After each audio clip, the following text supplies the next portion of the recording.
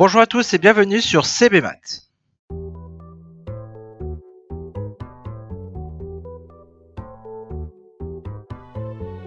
Dans cette vidéo, je vais vous proposer la correction de l'exercice 3 du brevet Métropole juin 2017. Voici l'énoncé. Exercice 3. Un condensateur est un composant électronique qui permet de stocker de l'énergie électrique pour la restituer plus tard. Le graphique suivant montre l'évolution de la tension mesurée aux bornes d'un condensateur en fonction du temps lorsqu'il est en charge. Question 1. S'agit-il d'une situation de proportionnalité? Justifié. Question 2. Quelle est la tension mesurée au bout de 0,2 secondes? Question 3. Au bout de combien de temps la tension en borne de condensateur aura-t-elle atteint 60% de la tension maximale qui est estimée à 5 volts? Alors, ici, est-ce qu'il s'agit d'une situation de proportionnalité?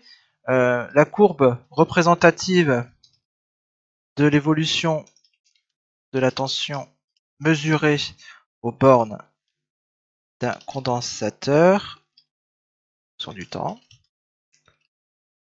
n'est pas une droite, donc euh, il ne s'agit pas d'une situation de proportionnalité. Alors bien entendu, ce n'est pas une droite qui passe par l'origine, bien entendu.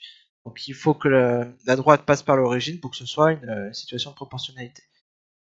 Donc voilà, cette situation n'est pas une euh, situation de proportionnalité parce que la courbe représentative relative à la situation n'est pas une droite qui passe par l'origine. Alors, quelle est la tension mesurée au bout de 0,2 0,2 secondes. Donc ici, 0,2 secondes. Alors, on va peut-être euh, agrandir le graphique. Voilà. Donc ici, 0,2 secondes. Alors, Alors, on va grossir le trait pour mieux voir. 0,2 ici. On est ici. Donc on est à 4, donc chaque graduation représente 0,2. Euh, Donc là on est à 3, 4,4. Donc ici la tension mesurée au bout de 0,2 secondes est de 4,4 volts. 4,4 volts.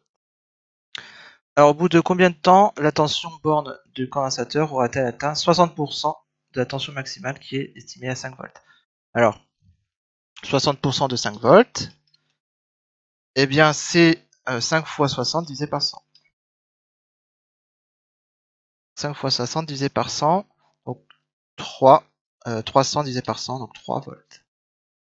Donc 3 volts. Donc on peut regarder ici donc ici 3 volts. On va le mettre rouge.